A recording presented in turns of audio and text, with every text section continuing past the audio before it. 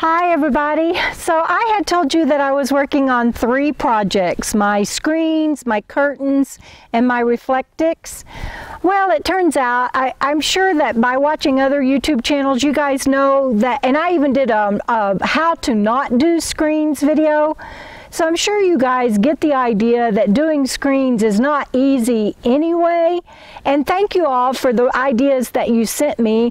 I, I didn't want to do the, the, the one where you put the screws in and everything and, and you can snap it off because my seals are pretty uh, tight or, or, my doors um, jams and all where those would go it would I'm afraid that would mess that up. And I don't want to put anything in between the doors and the walls. When the door's shut I, I, I have enough problems or worry enough about leaks as it is. So I really had an idea of how I wanted to do it and I was really looking forward to sharing that with you guys.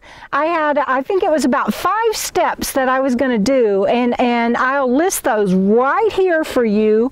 And and um, but it turns out I, I I can't do projects anymore.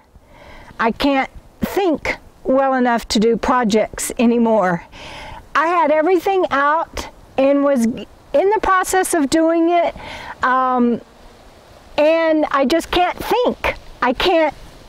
It, I I can't even come up with the words to tell you what it's like, and it was very difficult for me to accept that it was very challenging to not get depressed over that. I mean, when you're out here, how can you be depressed in something so beautiful, right? But I did shed some tears over that, and it's been devastating to realize that I can't do things that I used to could do. Um, I, I don't even know how to share with you what that what that feels like to just see your life slipping away from you. I, I can't imagine what it's like for people with Alzheimer's and in the early stages. My sister has Alzheimer's and to know that, that your life is just uh, slipping away from you. That's what this feels like. And I'm just determined to hang on to and believe that it is uh, going to get better and that when I get out of the city and I'm out in nature like this all the time um, and, and my stress level goes down, that I'll get some of my functioning and capability back. But I also have to be realistic and honest and with myself and with others that I know something has shifted and um, my life has gotten smaller again yet. And for those of you that keep telling me to go to my doctor, please know that I will probably make a loop and go to Texas and I will work with my trustee and my tribe on whether to see my doctors or not. But they've been real honest with me, my, my neuros have, that I, there's nothing that can be done for me. It just is what it is. And I can go to them and I will talk to the, my tribe and my trustee and, and it, but if I, my doctors tell me they want to put me in the hospital and do a bunch of testing and everything so they can see what has happened and that there's nothing they can do for me anyway, I probably will not do that. I, I want to be out here.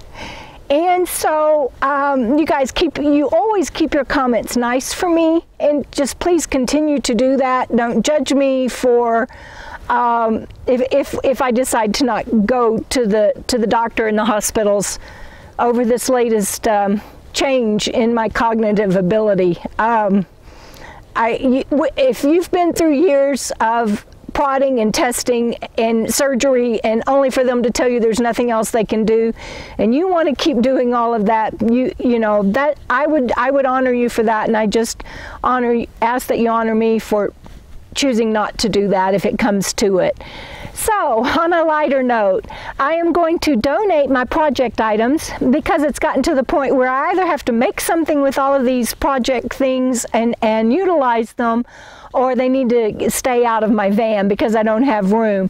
So I am going to donate a whole bunch of stuff tomorrow and I will bring my tent to Quartzsite to the RTR and give that to someone and I'm just going to um, keep my van as it is. I had hoped uh, to honor everybody with all that you've given me by making nice curtains and screens and, and making my Reflectix pretty. I thought that was the least I could do, but since I can't do it, I, my van is good enough and I'm happy in it. And it's just a palace on wheels and Fancy Free and I are gonna just keep on keeping on.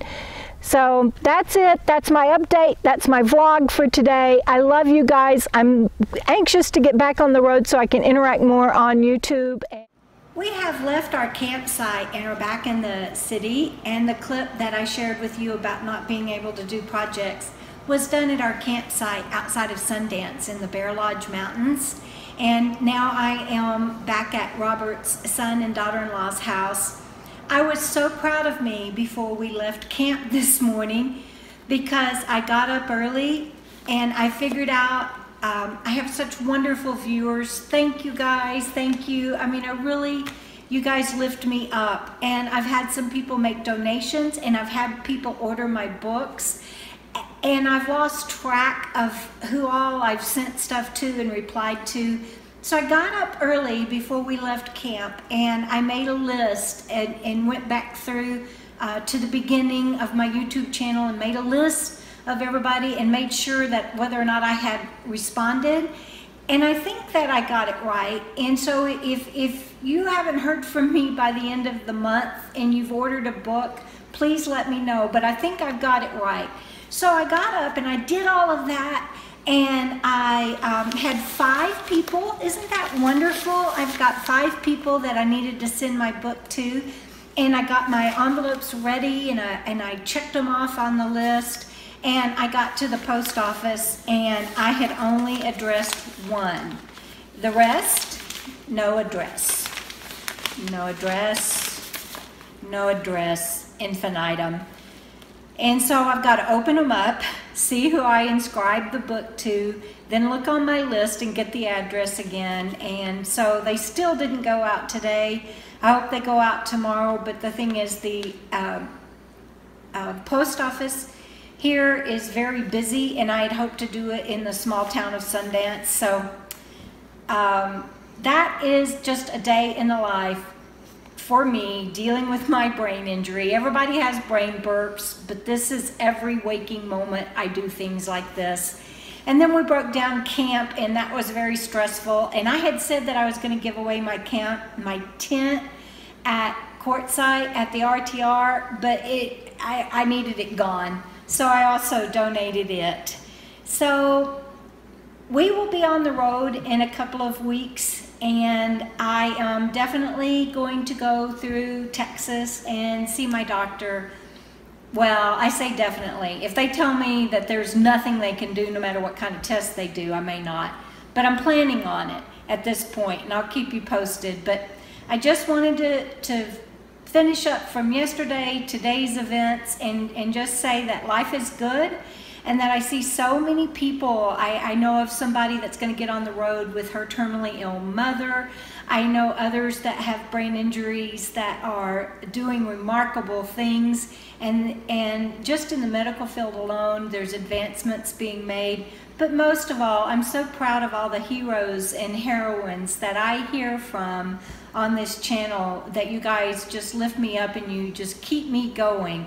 KOKO, keep on keeping on no matter what. Thanks, everybody.